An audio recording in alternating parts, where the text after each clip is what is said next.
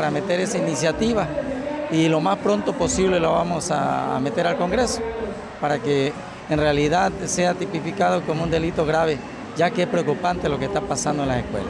Los primeros días del mes de febrero, eso sí tenga la plena seguridad de que lo vamos a hacer porque estamos muy preocupados. Ya hemos tenido plática y créame que vamos a tener el apoyo, porque es preocupante, esto daña a la sociedad, no nada más a, a un sector, sino a todos en general. Thank you.